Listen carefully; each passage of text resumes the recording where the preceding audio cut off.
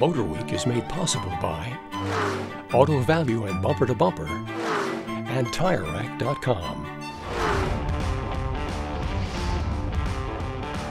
LA's Wilshire Boulevard is the appropriate address for the Petersen Museum and its latest movie car showcase, modified for the movies. This is the most popular car in the exhibit. This 1981 DeLorean was driven in all of the Back to the Future movies. Its gull wing doors look kind of alien-like, and that's why it was cast as the time machine. The Time Machine is one of a dozen vehicles that are starring at the Petersen. All of the vehicles here were customized to make them more compelling on the big screen. Of course, everyone, including me, is mesmerized by the famous flux capacitor that allows the DeLorean to travel through time. Since the advent of the motion picture, vehicles have been featured prominently on screen, not just to transport the actors from place to place, but also to serve as important plot devices or set the scene of the story where the action takes place. You also have a 1976 Ford Gran Torino here that was driven in Starsky and Hutch. Yes, we do. So when they started, they wanted a car that would be distinctive and new and stand out. So they selected the 1976 Ford Gran Torino from Ford Motor Company's TV and studio car loan program. They gave it its distinctive red paint color and the white stripe that everyone knows so well. Additionally, modifications were uh, performed to help with stunts. But the car ended up being probably as much or more popular than the two title characters. And so people really remember that vehicle from their childhood.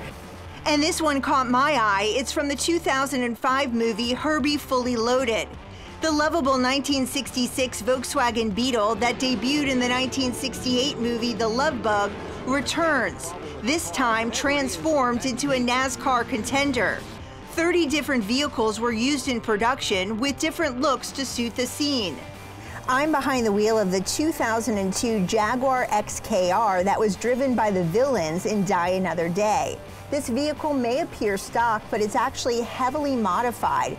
And one of the coolest modifications is this massive gun mounted behind the driver's seat. And that's not all. Check out its front grille. Missiles fire out of here. And there are rocket launchers on the door. However, the biggest modification to this Jaguar XKR is concealed. It was actually rebuilt on a shortened Ford Explorer four-wheel drive chassis so that it could handle better on the ice during this action-packed car chase scene. This 1950 Mercury Monterey was also able to perform better in its movie role thanks to customizations. This luxury car starred alongside Sylvester Stallone in the 1986 movie Cobra. The roof line has been lowered and it has a double hood scoop to give it a tougher and more rugged look.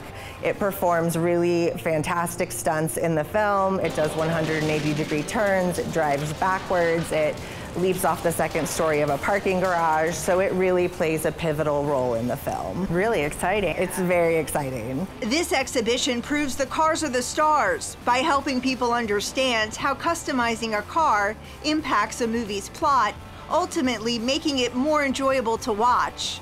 Clearly, modified movie cars won't be upstaged by the actors anytime soon.